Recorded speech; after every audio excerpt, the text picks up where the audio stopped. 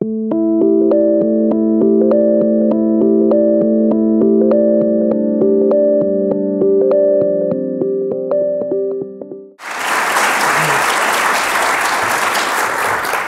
I'll see if I'm in for surprises. No, timing is great. Thank you very much, and thank you very much to the Keating family for being here this evening. Thank you very much for my family for being here this evening, and thank you for being here. I have, um, I want to start with some very wise words, and therefore they're not from me. And I want to talk from the first four or five wordy slides according the gospel according to Jack Keating. My argument tonight is it's time for a reboot. You know, when you have your computer and things are not working very well, but you've got a lot of precious stuff on it. And so you go along and they say, We're going to reboot. And so they reboot the machine and then things work hopefully very smoothly. Similarly, in Australian education, we have a lot of things going extremely well. But I want to paint the picture that there is a lot of stuff around the peripherals, around the narrative, which is the core of what we do, that is actually going in the wrong direction. And doing more of the same is not in our best interests. Jack summed it up very well when he argued that instead of promoting greater diversity, our secondary schools find themselves ch chasing the same academic pot of gold in a market of which being academic is the prime indicator of market value. There is limited, limited incentive for schools to develop vocational or alternative or personalised learning models. Then the government sector is also forced to privilege an academic curriculum in order to compete with the private sector, particularly for middle class and high achieving students. The narrative of success that Jack talked about leads to a focus on differences between schools and the argument we've had in this country for the last 10 or 15 years about school choice and the right of parents to choose school.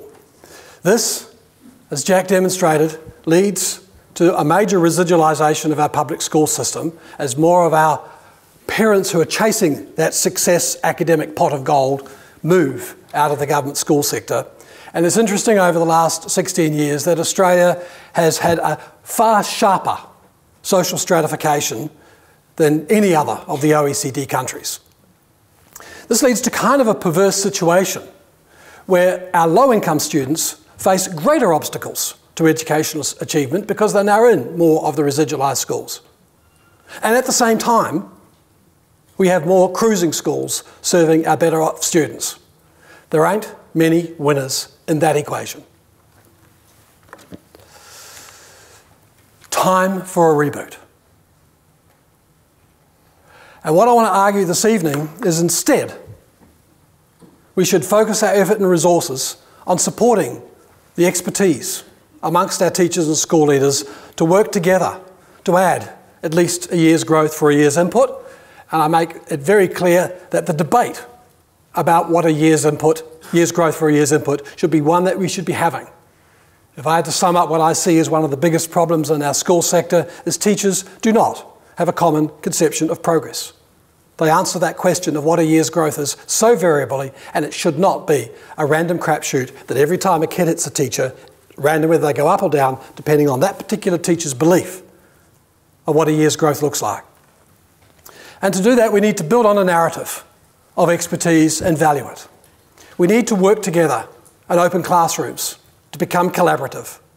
We need to target resources at need, and I'll come back to that, and we need to accept evidence, an easy statement to make. But evidence is a contested word, and there are many instances where evidence does not drive our policy.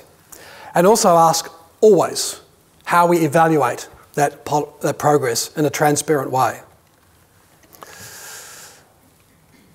Given this is political season, I thought I'd have a chance at saying what my five goals were. I know in the education state that we live in here in Victoria, we started off with many, many goals. It got down to about 10. As Stephen and others know, I thought that was about five too many. And these are the five I would put up the top front about how we can build confidence in our school system. There is a continuing trend to say the quality of education in the country is going backwards. While at the same time we say, say that the quality of education my kid gets is very good. How do we change the rhetoric to not assume that we necessarily have a bad system. The second is by age eight, I want to argue tonight that if kids don't get at least level two in NAPLAN and reading and maths, they are left behind. In fact, I think level two is a bit too low, but I'll use that. Evidence that schools are inviting place to come, and I want to look at the retention rate.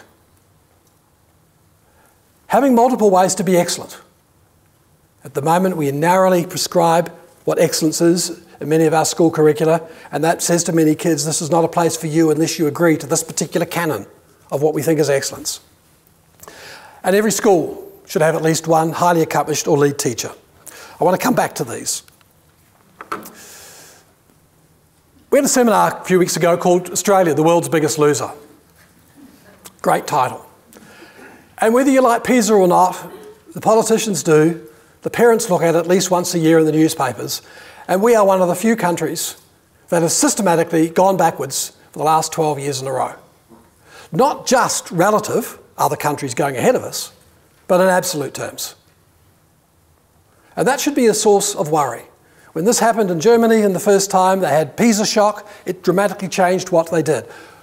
We don't seem to have much reaction to this. We say, oh, we don't like those kind of tests, so it's not really us. Wow, how blind do we have to be? And certainly we should be looking at much closely why it is we're going backwards. And John Ainley has done this work here as part of the ACER. And what I find fascinating from his work is that the major source of the variance in us going backwards is in our top 40% of our kids. You'd never know that from the current rhetoric, where we constantly want to go and fix up the tail, and there's nothing wrong with fixing up that tail.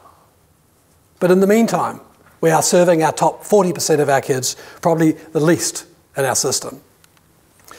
When I look at the various states, I have a simple solution for Australia's problems. We'll ship New South Wales to New Zealand. it's going down the most. But everyone's going backwards.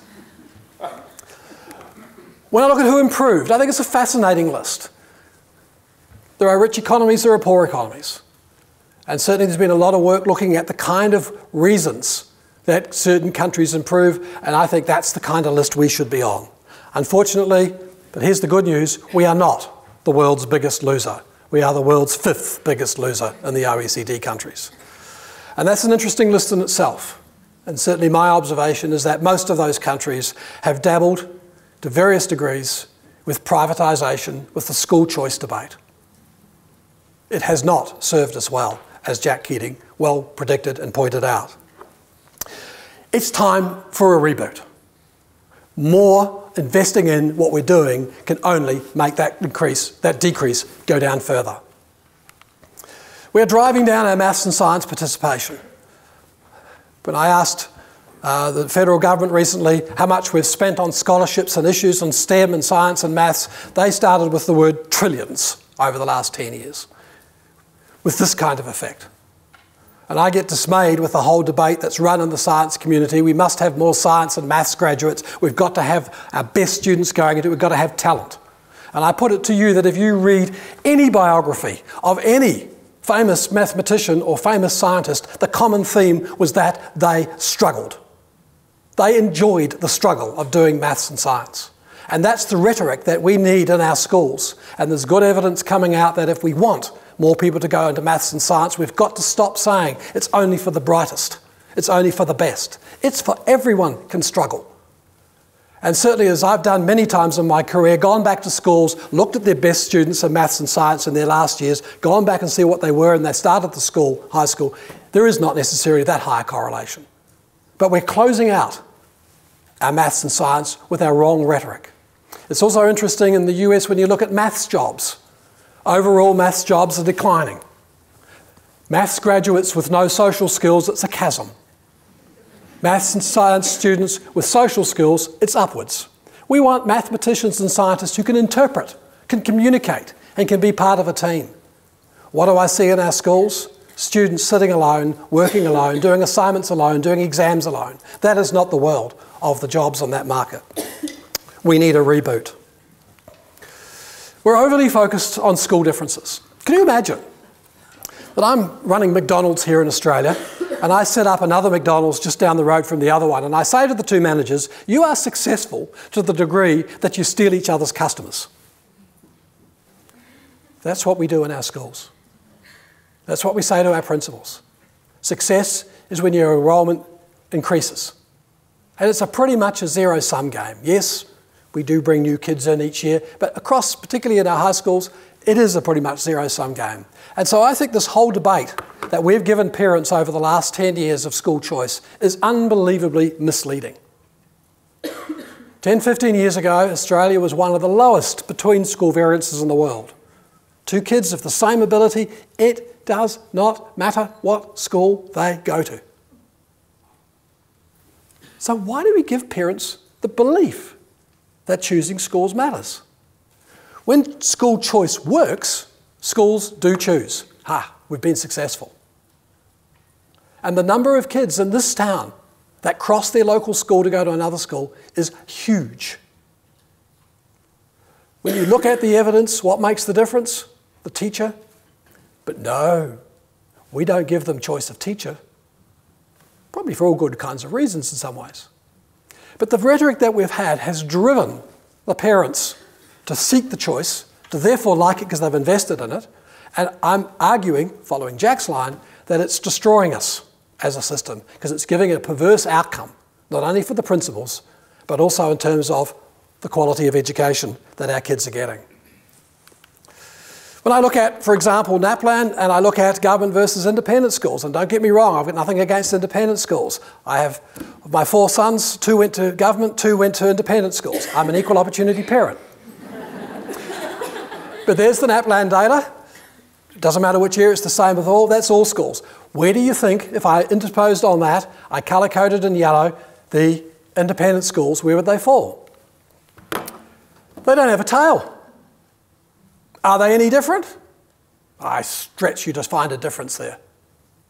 But that residualisation that Jack talked about is very evident there. Our government schools deal with those kids. Our independent schools deal with a narrower branch. Nothing right, nothing wrong about them. But why do we have a choice, an issue about school choice? It clearly can't be because of the achievement or their learning differences. I would argue this is the biggest problem. We have one in five kids who start high school who do not finish. Now, we could go into great more detail, as Steve Lamb has done in his work, and we could look at the number of people who don't finish by age 20. Those not in employment, education, and training by age 20. It's close to one in four, one in five. If you believe, as Hank Levin argued and demonstrated, he's an economist of education, that the biggest predictor of adult health, wealth, and happiness is not achievement at school, it's the number of years of schooling. And when I hear our Minister of Education in Victoria, 97% of adults in prison in Victoria did not finish high school. Now, the cost is ginormous. One in five should be a crime. And you can see it hasn't changed much. Thank goodness for Aboriginal kids, because you can see the trend for them is going up. But overall, we still have been stuck for 20 odd years at denying 20% of our kids the kind of health, wealth, and happiness that we argue schools are there for. How come we've narrowed down that curriculum and not seen multiple ways, multiple ways to being excellent? And I recall from my New Zealand days when they identified this problem in the early 2000s. They tried about 10 or 15 things, most of them didn't work, but the one that worked dramatically was they abolished the concept of VCAL and VET, the, the exam systems that we have here. They broadened it dramatically. Universities were very unhappy. And what they found within three years, they went from 80% to 92%. Suddenly, people who wanted to be baristas, who wanted to be panel beaters, who wanted to be water polo coaches, said, We can still be excellent. And there's ways to be excellent in the system. We don't have that kind of system here. I think it's time for a reboot.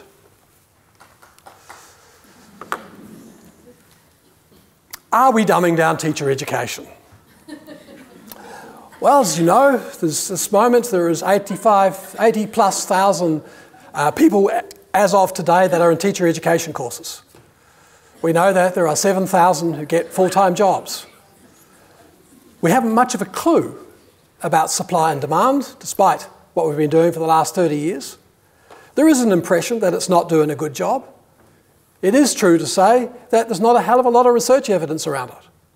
And part of the role that I have in AITSL is trying to use the TEMAG report as an opportunity to make Australia the world's best place for research on teacher education effectiveness. I can assure you, we have no one to beat because no one's doing it. It is the most evidence free institutions. We have an incredible amount of talent across those institutions. And how we can get together over this year and next year as we roll out the TEMAG reforms to see it as an opportunity. And my challenge to anybody who's going to write the 103rd review of teacher education in Australia over the last 15 years, please let the next one be based on evidence, not opinion. So we have a lot of work to do. And of course, we want to find ways to get our most ablest people to come into teaching. And again, I'm very proud of the fact that I've, my seven offspring this moment, three of them are now teachers. It's wonderful. Inequality, surely. We have slipped down from being in a top quadrant in 2000 and we're slipping down, right down the bottom in terms of the equity chain. This is something that I've raised in the earlier part of the session of how we've got more social stratification, how we're getting our schools to get the, different, the variance between schools is increasing quite a lot over the last 10 years. I want, I want to argue that we should also stop seeing postcode as a destination. We can and we are making a difference. Let me use, for example, the Aboriginal kids. This came out of the Productivity Commission, that report that was released last week, looking at the NAPLAN figures. What they're pointing out that 77% of all our primary schools have at least one Indigenous kid. This is not a problem just for remote and rural Australia. The majority of the Indigenous kids go to school in regional, metropolitan and provincial regions in New South Wales and Queensland. And look at the distribution. The red, the Indigenous, the blue, the non-Indigenous. And the thing I particularly want to point out is the gap on that side. There is just as many Aboriginal kids above the average who are not being served well by our school system. And of course, you and I also want to worry about the kids below the average, but who's worrying about those kids above who are going to be the future of their nations and our nations? How do we change that narrative? How do we abolish the word there's a problem with Aboriginal education? What a racist comment. There's a problem with our way of teaching those kids. Because we are many situations around Australia where we can have success with those kids. It's our problem. And I certainly work on the principle, Russell Bishop's principle, if we all teach kids, where Aboriginal kids are the beneficiaries, all kids are the beneficiaries, but it doesn't work the other way around. And I look particularly tonight at the Cape York schools. I know they're in hot in the media at the moment with the Aurukun situation. And about four years ago, I said to Noel Pearson when I met him, Noel, what you're doing sounds great. But you sound like everybody else. You've got a program and you want everyone to use it. Where's the evidence of the impact on your kids? He said, Well, it's tough. I said, Well, that's your business. And he said, We've tried this and we've tried this. And I foolishly said to him, Oh, send me your data. He did. This is the story, guys. Four schools up there. Yes, they use a particular model of teaching that a lot, a lot of people like, but does it work? They're gaining three times more than the rest of Australia in reading and numeracy and two times more in writing. What an incredible success story.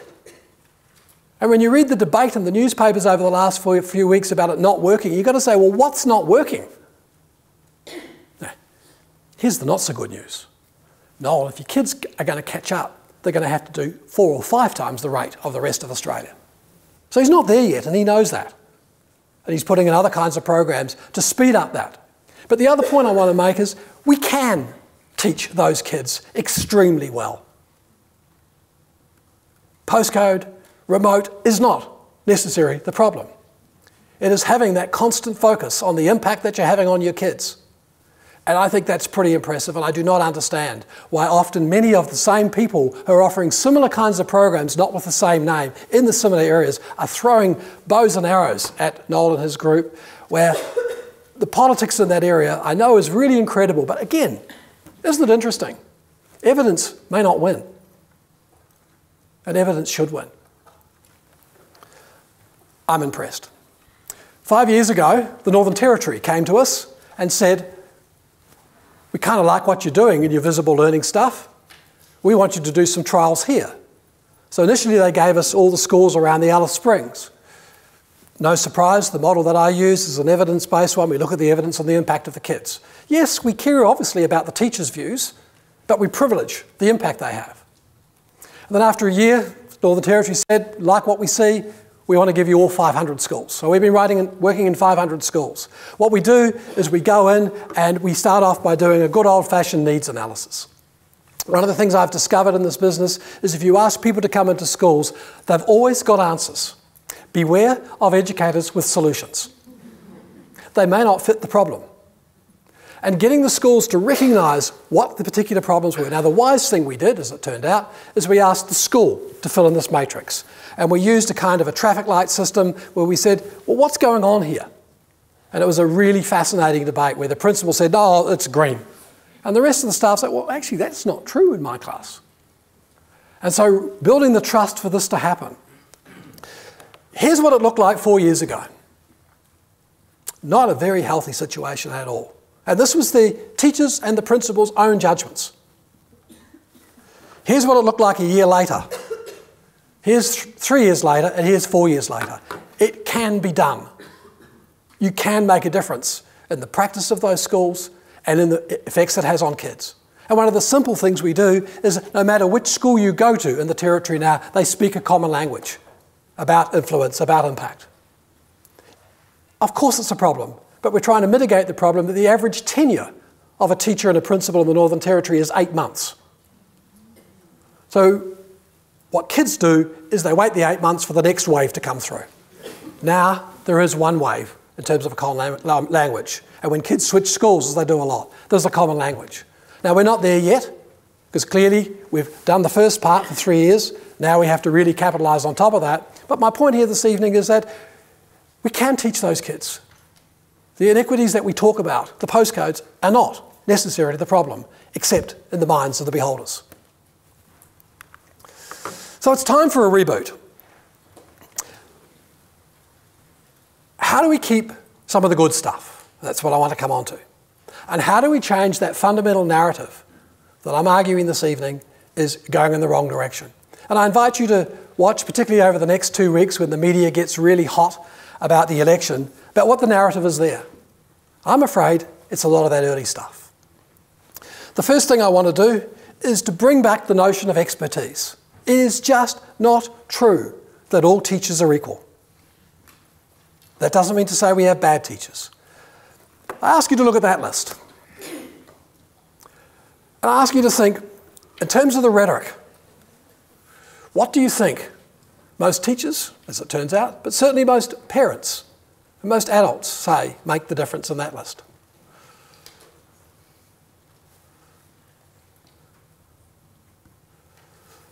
I put it to you that the majority of things on this chart are the things we debate, and they are all incredibly trivial in terms of their impact.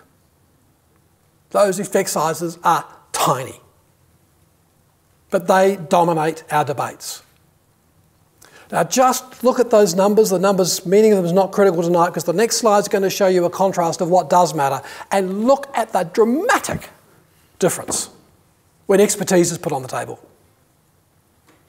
So, how do we build a profession that acknowledges its expertise?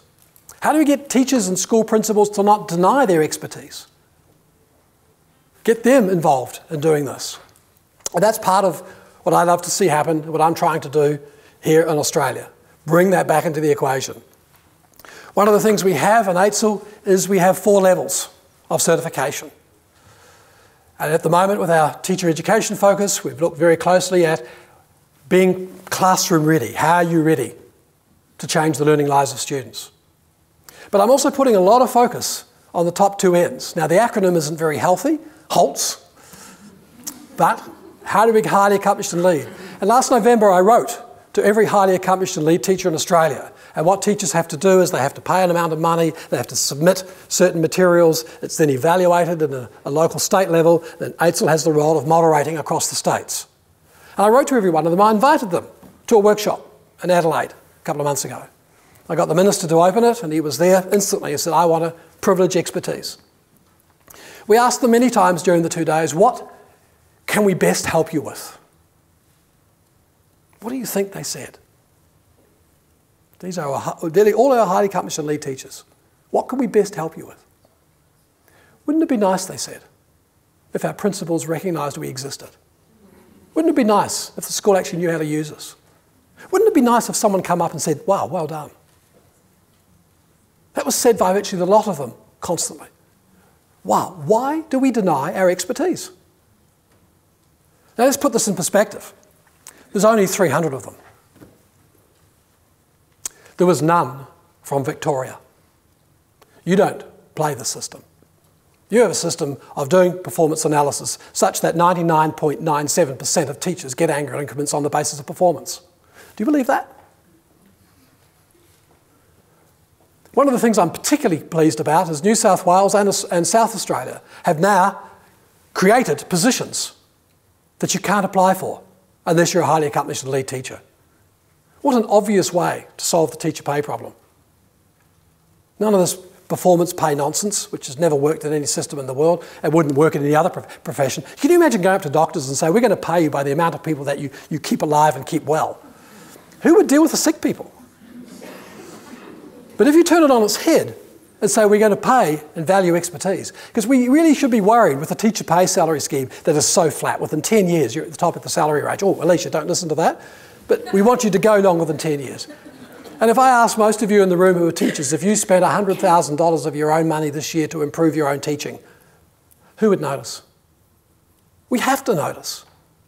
And so I have this mission now with the HALTs, a very energetic group. They've created their own little um, society now. They've got a mission this year to have at least one other person in their school become a HALT. They want to drive their numbers up. I'm talking to Victoria, I'm talking to Queensland about how they can come into this fold, about how across this nation we can start to reintroducing the notion of expertise.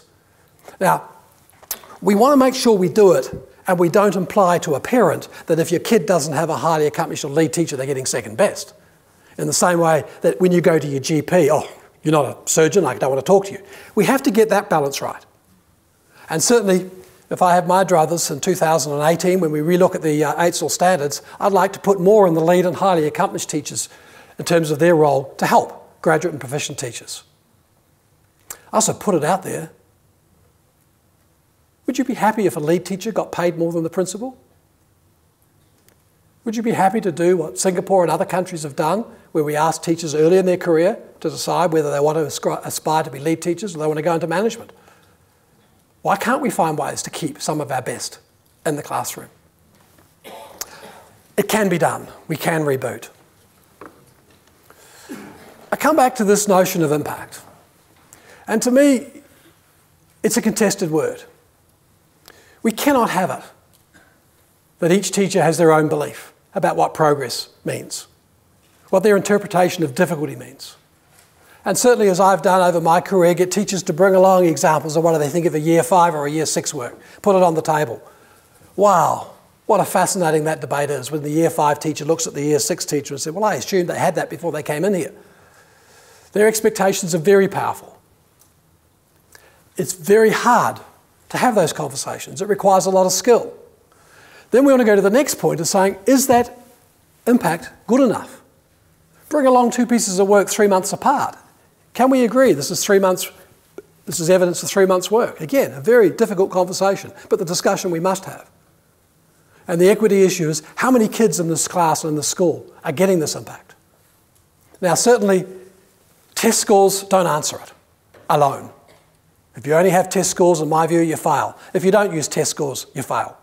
It's getting that mix right, the triangulation, the preponderance of evidence of what we mean by growth. Let's have a robust discussion. Let's not have another curriculum that decides how much stuff we're going to shove in and how we can sequence it according to some adult groupthink. Let's look at the impact we're having on kids and ask, is it good enough? Do we have common conceptions of what progress means? This is new number one in visible learning. Top of the charts. And I love it teacher collective efficacy. And it fits nicely with the argument I'm making here tonight. That if teachers could work together to have the confidence they can change every kid in the school, increases the rate of learning by a factor of four. Now, of course, if you're going to maintain this efficacy, you've got to have evidence to keep maintaining it. So it's a lovely virtuous circle. But it very much does start again about that notion of what teachers' mind frames are, how they think, what they think's good enough.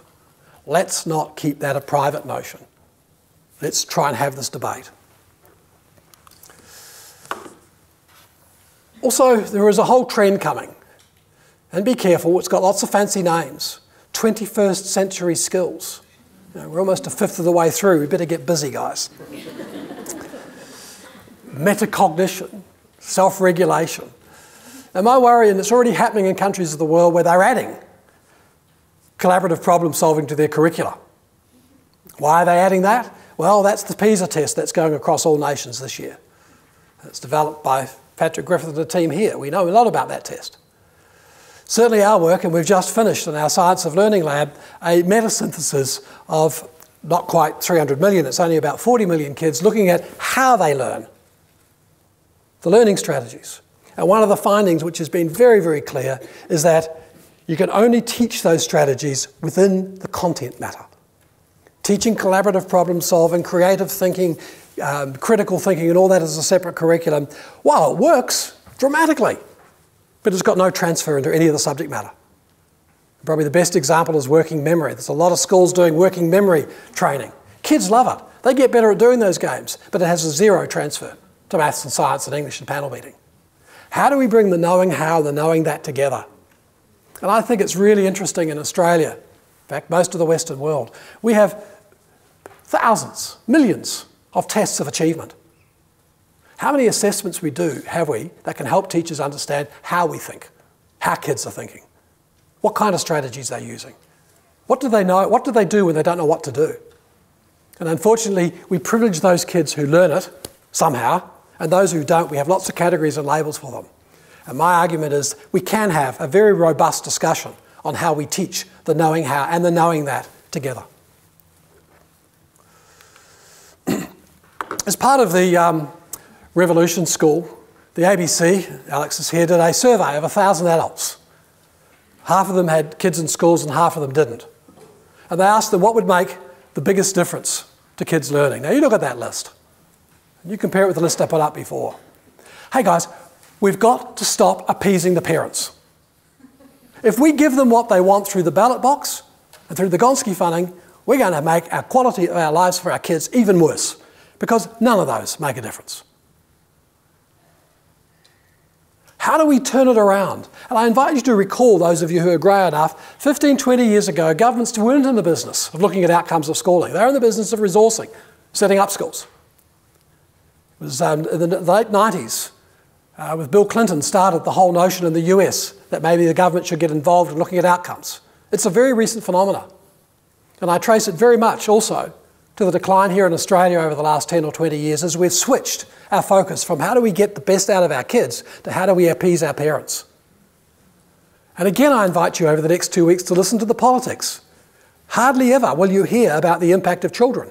You'll hear about these things, which are appeasing the voters. And certainly, if I look through as I've done in the US, those states where there are more adults who don't have kids in schools, the funding drops dramatically. And we're heading in that direction if we don't change that narrative. We need to reboot that narrative. The Revolution School. And I'm delighted in the front row we have teachers from Kambrya. It was a very risky decision you guys took a year and a half ago to have cameras in your school every day of the school year. I say cameras plural. Have some cameras fixed in some of your offices and see the whole life of schools. Some of us were very nervous. Well, you've seen, I hope, three of the four episodes, and please watch tonight. It is the best episode. It's where the data is revealed, it's where Michael talks about the stunning things that have happened in that school.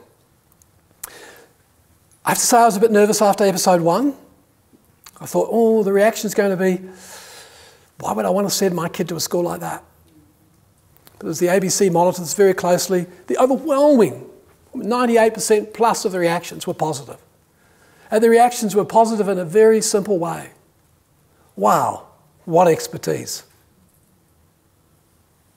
Look at what these teachers do. They don't have to teach the kids, they have to deal with some of the parents in interesting ways. Kids bring raging hormones. They bring problems to schools. They have to deal with those things. And in the meantime, you saw the quality of the investment and the passion of those teachers and the impacts, as you'll see tonight, that those kids are having. I want a new campaign. I think Michael Muscat for Australian of the Year.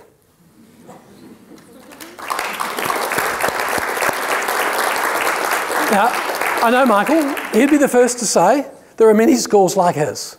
He'd be the first to say there are many principals and teachers that do that, and that is absolutely the case. How do once again we get that privileged?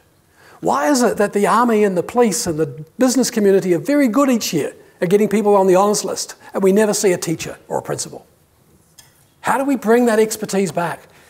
You've seen it. It's done an incredibly opportune time to have a debate about how we, how we fund that expertise, not appease the parents. Here's some of their results, and you'll see this tonight. This was their school five years ago. Their kids were very connected to each other and they were highly motivated to be connected with each other. But look at the but data about learning. No wonder the school said doing more of the same is not solving the problem. What's the data now? Wow. They rebooted, they were successful. They might not have appeased many of their parents who wanted more school uniforms, smaller class sizes, and all that list. They focused on their kids and the impact they had on their kids. It can be done, it is being done, but we're in crisis of losing it if we continue the current narrative. Here's the issue. When I walk into the nine ministers around the country, director generals, of course, we talk about high achievement, and we all want high achievement. But I put it to you, that's not primarily what our schools are there to maximise. But I still want high achievement. Schools are there to add value. No matter where the kid starts, struggling or bright, they all deserve at least a year's growth.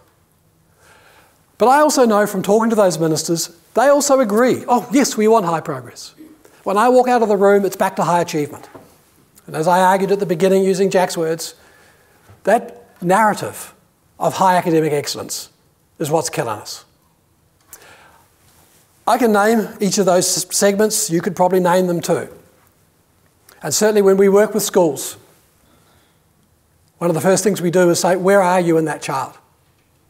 Because no matter where you are in that chart, it determines how you grow to be an optimal school. Of course, we want all schools to be high progress and high growth. Here's what I want to change. The current narrative say that's our good schools, high achieving schools. I say to you, that is not what we want to maximise. When I spoke recently to the um, National Independent Schools um, Principals Association, I put the data up, I showed them how many more independent schools are in the cruising zone compared to others. It's not true to say, but it did feel at the time that the reaction was, so? Our kids get high ATARs, they get into universities.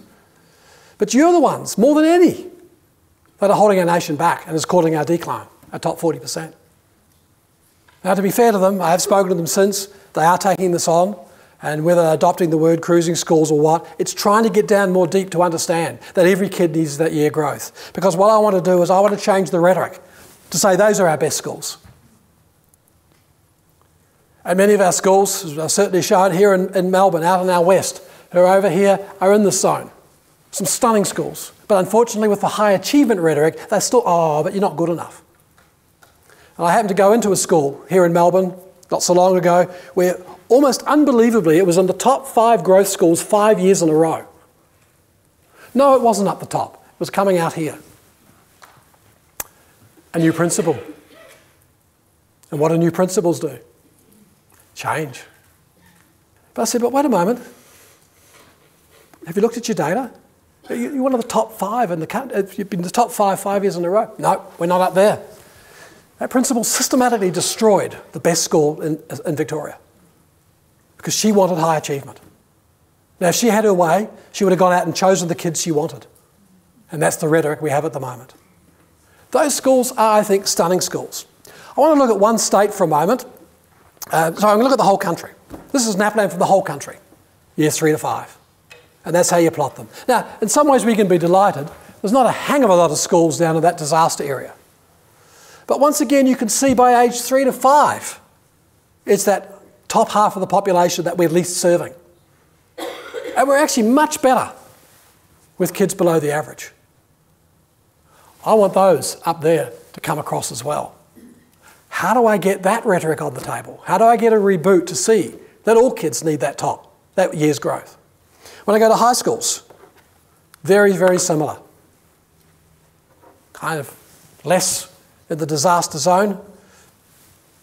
But quite frankly, 50, 60% of our schools in this country, I would say, are excellent schools. Could they get better? Yeah, could get better. Everyone can get better. But at least they're in the right zone, this zone. How do we reboot our narrative so that high progress leading to high achievement is what we esteem in our schools? Let me go to my last of the data, and this is um, from Tasmania, where I presented recently, and it's a really fascinating case. When you ask what's the correlation between reading or mathematics or writing and socioeconomic status, it's pretty high, around 0.58, 0.6. No surprise in many ways. But look at the correlation with growth, close to zero. And look at the school out here. Just isn't it, maybe coincidence, the lowest ICSEA score, the lowest socioeconomic status score in Tasmania is the 11th best school. Wow. Now, I know the debate in Tasmania. Barbara's here, she could re uh, uh, reinforce this. It's all about, oh, we have rural schools, we have postcode problems. I'm sorry. All kids in Tasmania can learn, and teachers can teach those kids very successfully despite that postcode. Look at that school. And you can read it right across the ICSEA School, some of our richest schools in Tasmania are far below some of those others. It isn't SES. And I've shown you the Aboriginal figures. Those Aboriginal kids can learn. Wow, they're pretty stunning learners. How do we turn that rhetoric around to recognise that learning and get away from the narrative of we've got to have high achievement? It's intriguing that we don't have resources for teachers to do that. And I challenge any school in this nation to show me how they actually measure progress using assessment tools at their fingertips. It's very, very tough. 20 years ago in New Zealand, we developed an assessment scheme for schools, and these are the reports from them that showed teachers what their concept of a year's growth for a year's input was. It showed them which kids were learning, which kids were on the various dimensions of those graphs I've pointed out. It's a voluntary system. Schools don't have to use it. And I'm very proud of the fact that Today, 80% of schools and teachers in New Zealand voluntarily use this assessment scheme, 16 years later. Who would miss NAPLAN if it went? How do we turn it around to help teachers do their job? And I love the fact that it's voluntary. Teachers are hungry for information about progress. We need to give it to them. That's part of my mission. How do we open classrooms to collaboration? When we ask teachers, how often do you talk in your classroom? You can see the yellow figures there, what teachers say 30, 40%. The same teachers, when we monitor them, 59 to 60%. In fact, the study Janet did in England last year, never happened here, the average talking time of teachers in a classroom was 89%. I'm an academic, it's 100. what chance have we of listening to learning? What does it say to the students? Come to school and watch the teachers work. How do we turn that around? And so, what we've been working on on the team is to say, can we come up with a methodology? Now, video, it's incredibly powerful, but it's expensive. And it takes a lot of time to analyse that incredible amount of data. It's not just in time. Having someone in the back of the room, and be careful, it's a wave coming this way, it's coming through America and the UK. Incredible amount of effort gone into classroom observation. Someone in the back, we know that it takes five observations of the same lesson to get sufficient reliability to believe it. That's not going to happen, is it? We know that there's an incredible amount of biases. So the team said, how do we come up with a solution? So we can now, as is happening right as we speak, we can go into almost any classroom in the world. We've been in around 7,000, mainly in the UK and the US, and we can monitor what happens within three seconds and put back on the kid's iPad or their own iPhone everything the teacher says. At the same time, we can ask the kids to rate their learning on their iPads, and that can be fed back instantly. By the end of the lesson, the teachers can see the transcript, usually that thick. They can then get all that coding done so they can see actually what's happening. And the delightful news is that 50 to 60% of the teachers who do two hours of this visible classroom work over five weeks improve their learning. Another 20% who really do need to learn change dramatically. But there's still about 20% who dramatically need to learn who just ignore it all and go back, do what they're doing. So we've got work to do yet. But my point is, we can now open up classrooms. Wouldn't it be great if we actually had some dialogues in our school about what actually happened in the classroom, not what the teachers believed? As Graham Nuthall showed, 80% of what happens in the classroom a teacher does not see or hear. So why do we talk about all this teacher reflection rubbish? Where they only reflect on the 20% they saw. How can we get them to reflect on the evidence of their impact with their kids? And I think it's an exciting world we live in with the tools we have now available where we can create those debates in real time right now just for me. And it is starting to make a difference. So this is some of the, the learning analytics they get from this. And right now, the team uh, led by Janet, has now got 140 schools in England doing a randomised control trial. England is far past us in looking at the evidence stakes, not saying that's the only method, and I certainly am not going to argue it's the gold standard. But if you want to convince policymakers, it's not a bad way to do it. And certainly what I'm trying to do with um, Social Ventures Australia is to introduce that kind of evidence base, and that's available now on the website here in Australia. It's all been Australianised, to put Australianised research in it, to try and say what are the things that really make the difference. I'm also keen that we develop a parallel site where schools that trial these interventions talk about what worked, what didn't work, their enablers and barriers, so we can start to build up a science of implementation. It seems crazy to me that we say to principals, go out and pluck something out of the year, probably you've done it in another school, introduce it in this school, and it'll work. Or the government saying, we're going to do X now, away you go. Where's the implementation science? Where's the fidelity of the implementation? How do we build that across principles? I think it can be done. And we need to start early. When I go back to look at the incredible trillions, well, how come we waste so much money in this business on our early childhood sector? And as Collette Tayler and his team have shown, if you rate three or 4,000 early childhood settings across Australia on dimensions of emotional and, and uh, social development, they score seven or eight. On cognitive, two or three. How do we bring the concept of learning in? And I'm not talking about teaching two or threes to read or write. I'm talking about language, language, language, language, language, language, and language. And when you look at some of the figures there of the difference, even at the age of three, uh, these are not my words, professional, working class, or welfares, and if Jack was here, he'd be the first one to tell me off using those words. I'm using it from the study. Look at the difference already at age three. And when you look down at kids who start school with 500 words, and the, stu study took out kids who started with 6,000 words, you can see the difference at age 11, but look at it at age 16. It's dramatic. And certainly we looked at what's called the Matthew effect. By age 8, if kids haven't got to level 2 in NAPLAN, those who, do, who have got there do well, those who don't never catch up. Oh my goodness, it's true. That's why I put as one of my mission statements, how do we get kids at least to level 2 NAPLAN by age 8, which means we are going to have to start earlier. So, folks, I want to change the narrative. I want to reboot. I've tried to argue this evening that doing more of the same is going in the wrong direction. I've tried to argue this evening that appeasing the current debate, particularly what the parents are asking for, and don't get me wrong, I'll include the teachers. Again, it wouldn't happen here. It was a UK study of two weeks ago.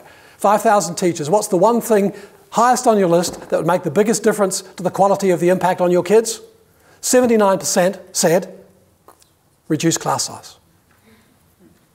The next, number two, 29%, was pay us more. Wow, we have a major problem. We know the effect of reducing class size, and as Andrew Schleicher shows, you can go through that list of countries I put up there before that are on the list that are going down. How much they've invested in the structural things, which is why they're going down. Whereas the countries at the top of the list, as he's shown, and many other groups have shown, they've invested in teacher expertise. They're going up. How do we change this narrative? Yes, Gonski money. It costs. Do I want it? My fear is we, if we got it, we'd frit it away. We'd invest in the things that don't work.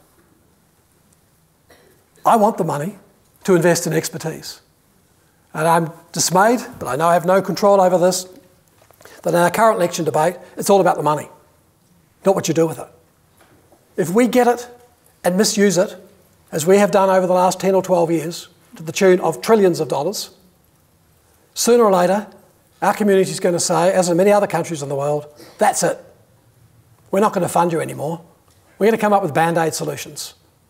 We're going to privilege those who have, and those who don't have, we're going to blame them with all kinds of things. How come? How can we be in a situation where we lose an incredible amount of the excellence we have? So, yes, I give a Gonski, but I'd love to know how it's used. I'd love to know in the current debates with federal and state. I look at the states that have got the Gonski money. Some states, and I think New South Wales is a good example, have used it very wisely in many respects, even though they're struggling at times with how they implement some of that stuff. But that's what I want to attend to, is how do we get that narrative right so the money's spent on the same thing? Certainly the argument is more of the same is not what we need. Expertise is what it's all about. Our biggest enemy is complacency. Thank you.